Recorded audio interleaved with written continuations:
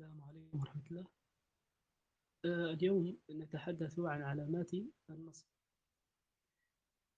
فالنصب هو الحالة الثانية من حالات الإعراب إلى جانب الرفع والجزم والجر. وقد تحدثنا من قبل عن الرفع.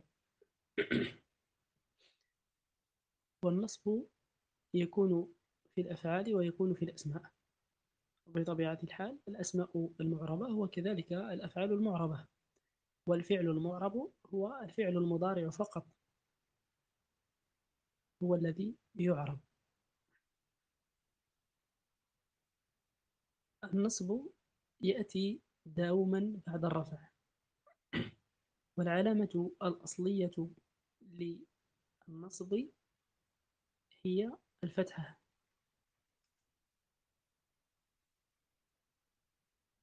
وتكون هذه العلامة في آه، علامة للنصب في الاسم المفرد.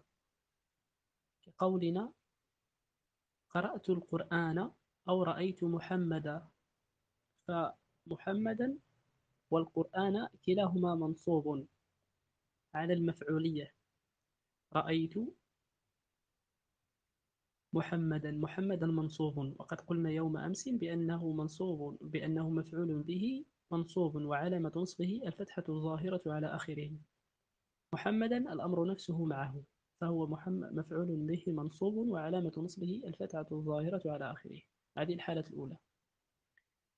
ثم عندنا الفعل المضارع الذي سبقه أو سبقه حرف الناصب كقولنا لن يكتب الدرس لن يكتب الدرس. لن حرف نصب يكتب فعل مضارع منصوب وعلامة نصبه الفتحة الظاهرة على آخره. الدرس مفعول به منصوب وعلامة نصبه الفتحة الظاهرة على آخره. لاحظنا هنا أن الفعل المضارع جاء منصوبا. لماذا؟ لأن حرف النصب قد سبقه. والدرس منصوب. لماذا؟ لأنه مفعول به. فهو منصوب على المفعولية. فالفتحة إذن تكون علامة للنصب فقط في موضعين. الموضع الأول هو الاسم ثم الفعل المضارع. الاسم المفرد أو الاسم أو, أو جمع التكسير. أيضا جمع التكسير يكون فيه آه، النصب بالفتح. ثم عندنا العلامة الثانية هي الياء. والياء تكون علامة للنصب في موضعين المثنى والجمع جمع المذكر السالم. فنقول مررت بمسلمين مررت بمسلمين في السوق مررت بمسلمين. آه، عفوا مررت بمسلمين مجرورة. آه، رأيت مسلمين في السوق. رأيت مسلمين في السوق. رأيت فعل وفاعل.